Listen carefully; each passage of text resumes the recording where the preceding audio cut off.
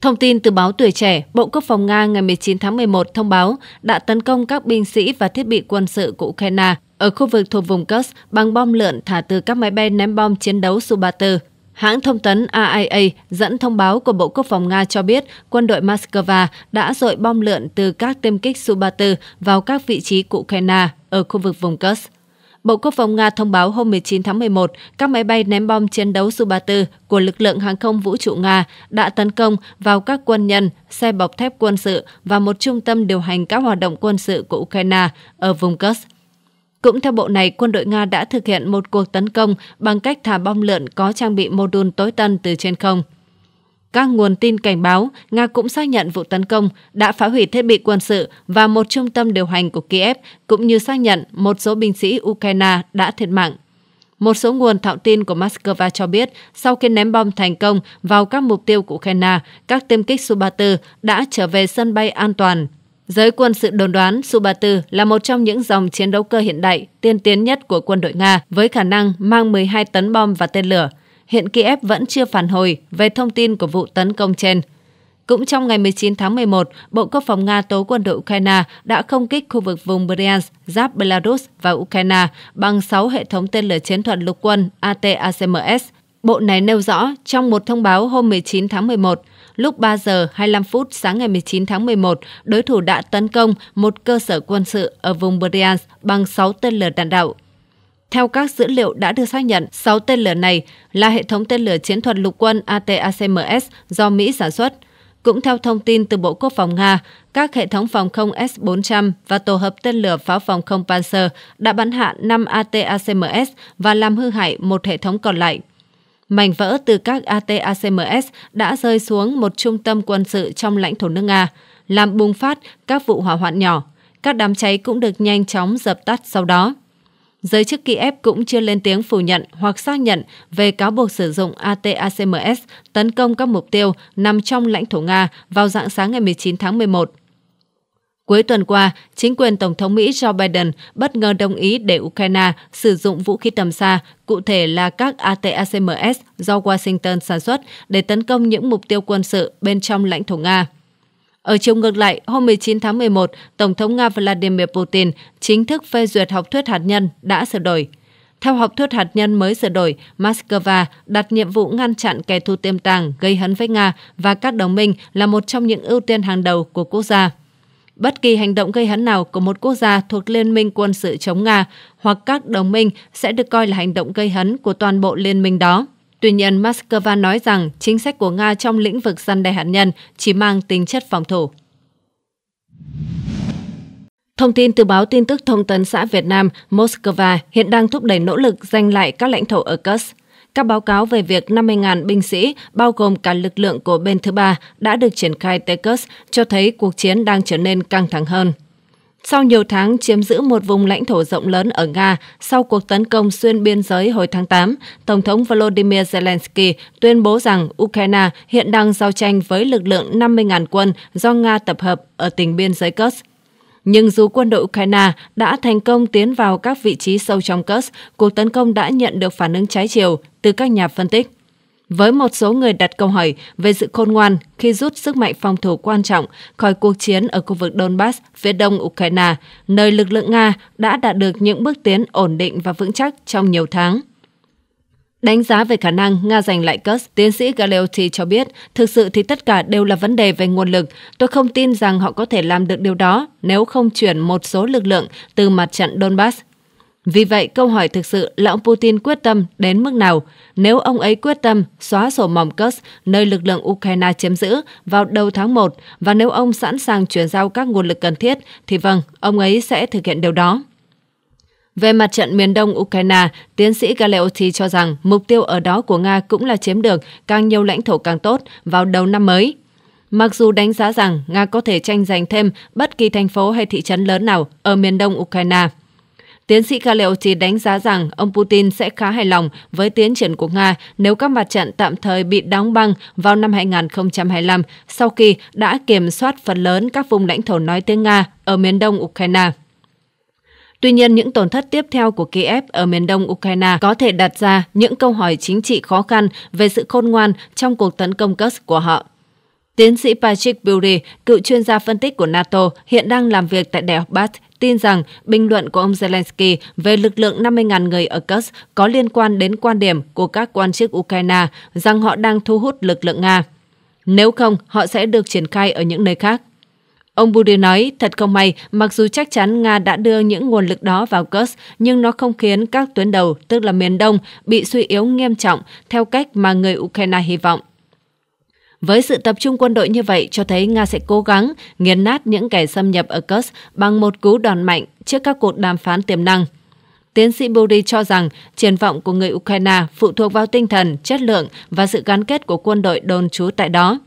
Ông nói nếu đứng vững và chiến đấu, họ sẽ có một số vị trí phòng thủ khá tốt và họ có một số bờ sông để phòng thủ. Vì vậy, nếu họ có thể, cuộc chiến ở đây sẽ đậm máu và tổn thất, người Nga sẽ đạt được những bước tiến gia tăng.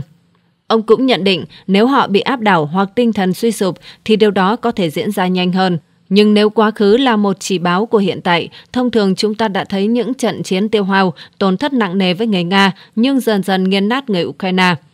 Trong khi tiến sĩ Buri lưu ý rằng Nga trong quá khứ đã phải xây dựng một số lượng áp đảo quân đội để đánh bại quân đội Ukraine.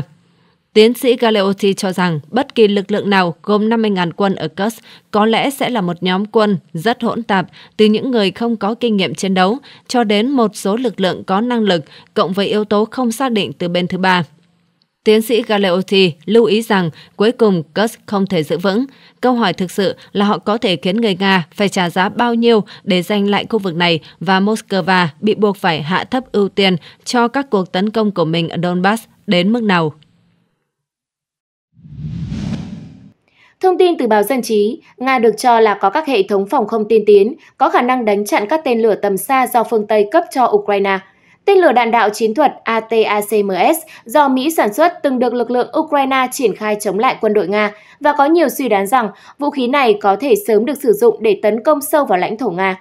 Khi Mỹ được cho là đã bật đèn xanh cho Ukraine sử dụng ATACMS để thực hiện các cuộc tấn công tầm xa, hai câu hỏi được đặt ra là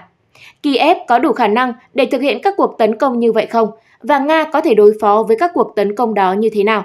Alexei Leonkov, nhà phân tích quân sự kỳ cựu của Nga và là biên tập viên của tạp chí Arsenal of the Fatherland, cho biết nhiều hệ thống phòng không của Nga như Buk M2, Buk M3 và Tor M2 từng đánh chặn thành công ATACMS. Chuyên gia Leonkov cho biết các hệ thống phòng không của Nga có tỷ lệ đánh chặn rất cao trong khi hệ thống của Nga sử dụng một tên lửa cho mỗi mục tiêu, hệ thống Patriot của Mỹ sử dụng hai tên lửa để thực hiện cùng một nhiệm vụ. Quân đội Nga có các hệ thống phòng không nhiều lớp và uy lực. Moscow cũng từng nhiều lần tuyên bố đánh chặn được ATACMS, nên Ukraine có thể sẽ phải cân nhắc các chiến thuật cụ thể nếu muốn tấn công lãnh thổ Nga bằng tên lửa tầm xa. Chuyên gia Leonkov cho biết, mặc dù Mỹ và các đồng minh đã cung cấp số lượng lớn vũ khí cho Ukraine, nhưng số lượng tên lửa tầm xa như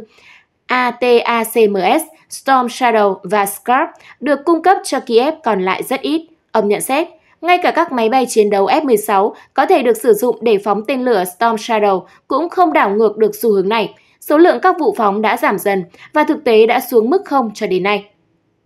Chuyên gia Leonkov ước tính, trước khi xung đột Ukraine leo thang vào tháng 2 năm 2022, phương Tây sở hữu hơn 3.000 tên lửa ATACMS, bao gồm tất cả phiên bản có sẵn, do nhiều tên lửa ATACMS đã được sử dụng trong xung đột Ukraine hoặc không còn khả năng sử dụng. Số tên lửa đã giảm xuống còn khoảng từ 1.500 đến 2.000 tên lửa. Mỹ bắt đầu cung cấp tên lửa đạn đạo ATACMS cho Ukraine hồi năm 2023. Theo hãng tin Kyiv Post, Ukraine có thể đã nhận được ít hơn 50 tên lửa ATACMS, tuy nhiên không rõ Kiev đã dùng bao nhiêu quả và còn lại bao nhiêu quả. Mỹ và Ukraine chưa bao giờ xác nhận số lượng tên lửa chính xác được viện trợ. Cho đến nay, truyền thông đưa tin về hai lần Mỹ chuyển giao ATACMS, trong đó một lần hồi cuối năm 2023 với các phiên bản tầm ngắn hơn 160 km và một lần được giao bí mật vào tháng 3 năm nay với các phiên bản tầm xa 300 km.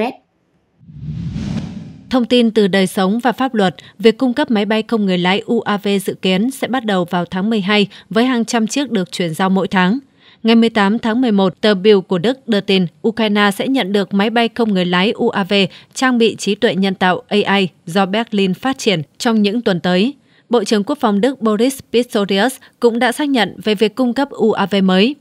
Sau cuộc tấn công lớn của Nga vào Ukraine hôm 17 tháng 11, Bộ trưởng Pistorius nói rằng ông rất vui vì việc chuyển giao những UAV tấn công trang bị AI đang bắt đầu ngay bây giờ. Theo ông, Ukraine có thể sử dụng mẫu UAV này để tấn công các mục tiêu quan trọng của Nga, chẳng hạn như các sở chỉ huy.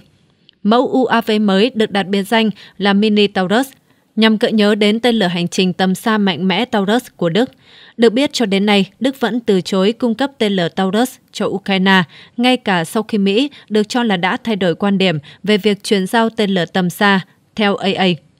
Với tầm bắn hơn 500 km, tên lửa Taurus có khả năng nhắm bắn thành công vào các mục tiêu như cầu hoặc mục tiêu cứng và sâu như bong ke chỉ huy. Taurus đã trở thành vấn đề gây tranh cãi trong chính trường Đức khi Thủ tướng Đức Olaf Scholz liên tục từ chối yêu cầu cung cấp tên lửa này của Ukraine.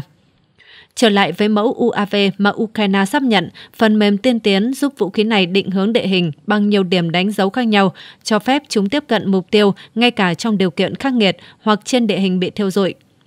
AI được trang bị cũng giúp UAV có khả năng tự chủ cao hơn trong điều kiện tác chiến điện tử EVK, chống lại khả năng gây nhiễu GPS của Nga. Khi UAV xác định được mục tiêu và người điều khiển xác nhận, chúng có thể tự động tấn công mục tiêu ngay cả khi mất liên lạc.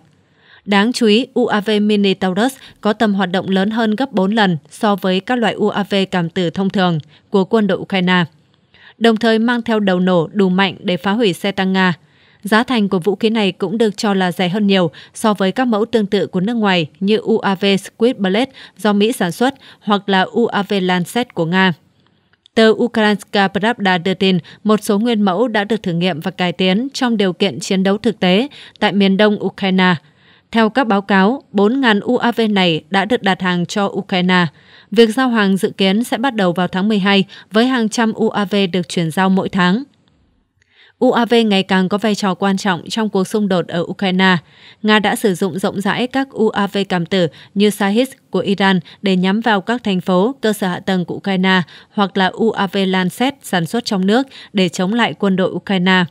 Hồi tháng 10, Pháp cho biết sẽ chuyển giao UAV cảm tử Colibri mới phát triển cho Ukraine, qua đó tăng cường hơn nữa năng lực UAV của Kiev. Thông tin từ tạp chí Người đưa tin, hình ảnh mới được chia sẻ cho thấy máy bay không người lái cảm tử Lancet của Nga đã tấn công chính xác hệ thống pháo phản lực HIMARS do Mỹ sản xuất được lực lượng vũ trang Ukraine sử dụng tại khu vực Zaporizhia. Hệ thống này bị phá hủy ở gần làng Novo Solosino, cách thị trấn Guliaipole khoảng 25 km về phía tây bắc. Hình ảnh trong video được các nguồn quân sự Nga chia sẻ cho thấy máy bay không người lái trinh sát của Nga đã phối hợp để thực hiện đòn tấn công. Lực lượng trinh sát Nga phát hiện tuyến đường di chuyển của đoàn xe và máy bay không người lái Lancet đã tấn công chính xác vào phương tiện. Dựa trên hình ảnh, hệ thống HIMARS do Mỹ sản xuất đã bị phá hủy hoàn toàn và cháy rụi sau cuộc tấn công của Nga. Phần lớn các hệ thống pháo phản lực quý giá do Mỹ sản xuất hiện được triển khai trên các tuyến đầu phía đông và phía bắc, nơi giao tranh đang diễn ra ác liệt nhất. Việc triển khai hệ thống HIMARS trên mặt trận phía nam ở Zaporizhia đánh dấu một sự leo thang mới trong khu vực này. Quân đội Nga đã nối lại các hoạt động tấn công và đạt được những bước tiến mới theo nhiều hướng ở Zaporizhia. Lực lượng vũ trang Ukraine buộc phải củng cố phòng thủ và triển khai thêm hệ thống tại khu vực này. Hệ thống HIMARS có khả năng phóng tên lửa đạn đạo ATACMS sau khi quân đội Ukraine được phép tấn công các khu vực hậu phương của Nga bằng các tên lửa này. Việc tấn công phá hủy càng nhiều pháo phản lực HIMARS càng trở nên quan trọng về mặt chiến lược. Quân đội Nga đang đẩy mạnh tấn công theo nhiều hướng trên các tuyến đầu của Ukraine. Ngày 18 tháng 11, Bộ Quốc phòng Nga chính thức xác nhận đã hoàn toàn kiểm soát ngôi làng Novo Alexeyevka ở hướng Pokrovsk, Làng Novo Alexeyevka nằm ở phía tây nam của Selidovo. Cuộc tấn công của Nga vào ngôi làng này bắt đầu từ ngày 2 tháng 11. Theo các báo cáo từ chiến trường, Nga đã giành được quyền kiểm soát ngôi làng chỉ sau khoảng 2 ngày giao tranh. Các binh sĩ thuộc trung đoàn xe tăng cận vệ số 80 của nhóm lực lượng trung tâm đã cắm cờ Nga tại ngôi làng này vào ngày 4 tháng 11.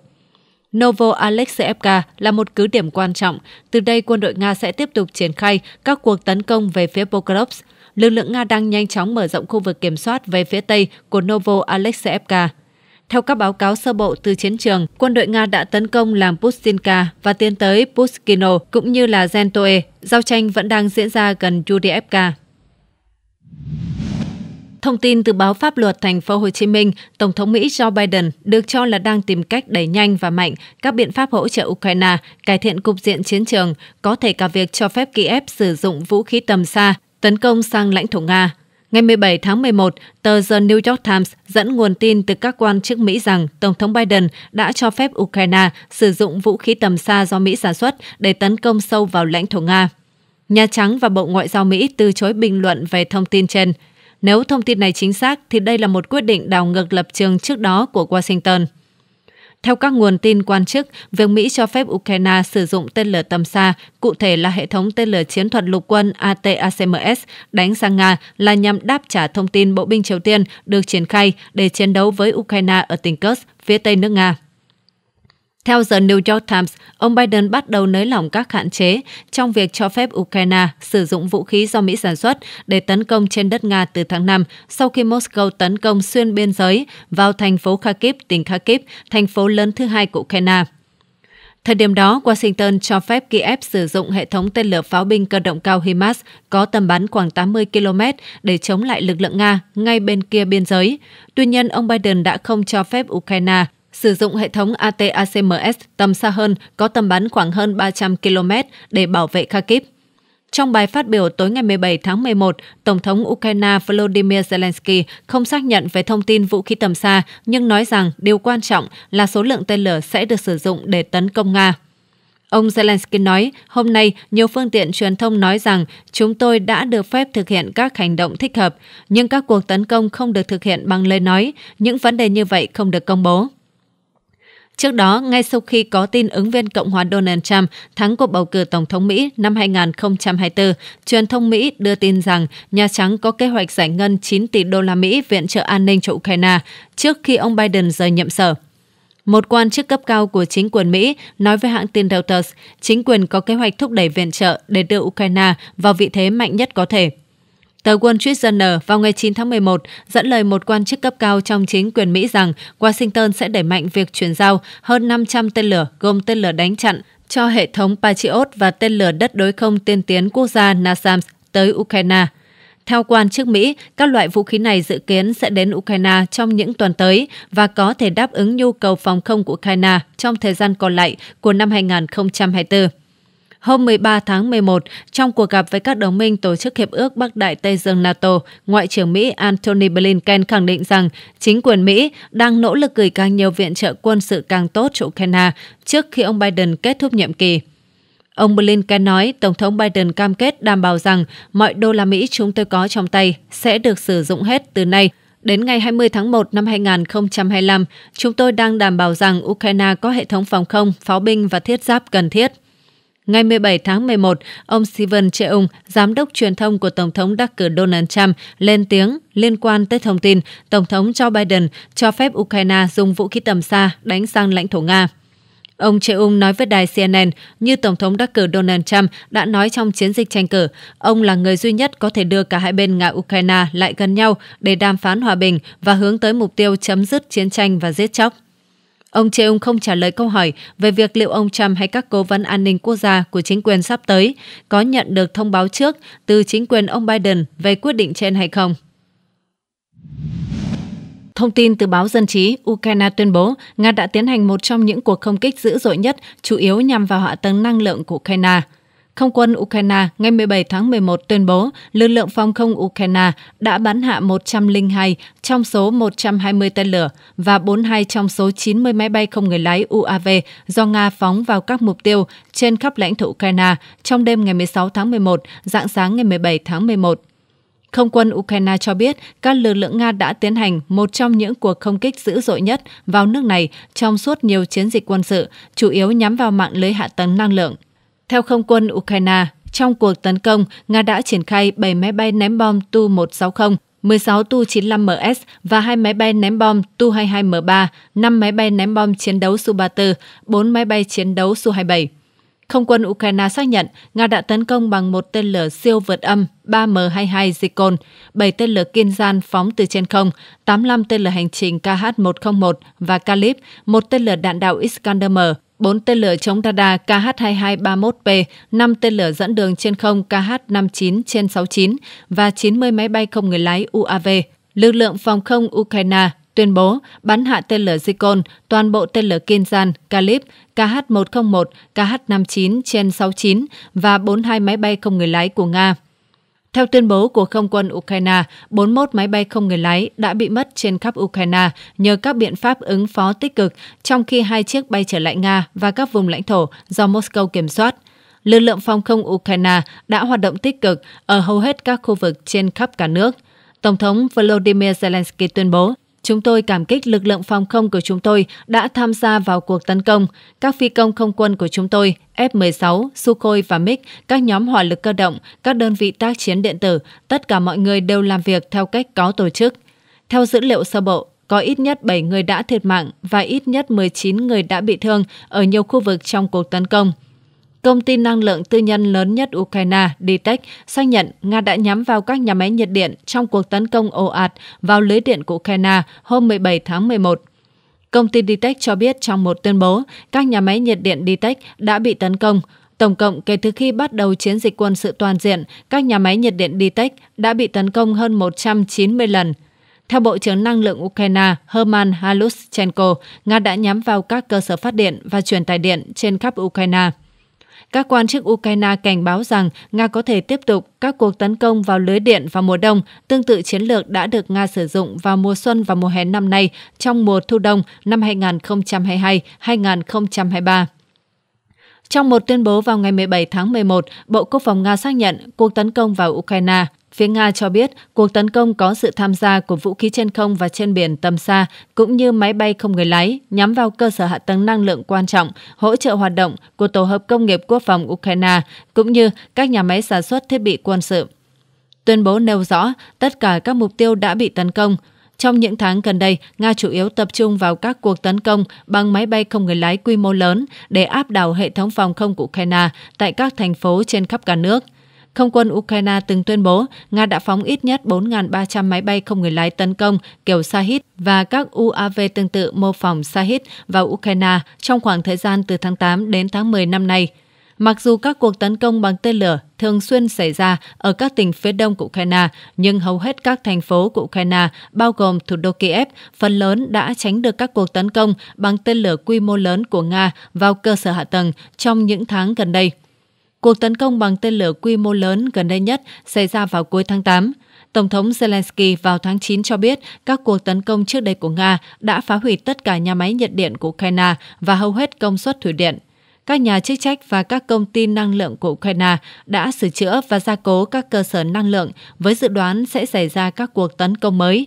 Theo báo cáo của Cơ quan Năng lượng Quốc tế IEA, tình trạng thiếu điện của Ukraine có thể lên tới 6 gigawatt vào mùa đông năm nay do các cuộc tấn công, chiếm khoảng 1 phần 3 nhu cầu cao điểm dự kiến.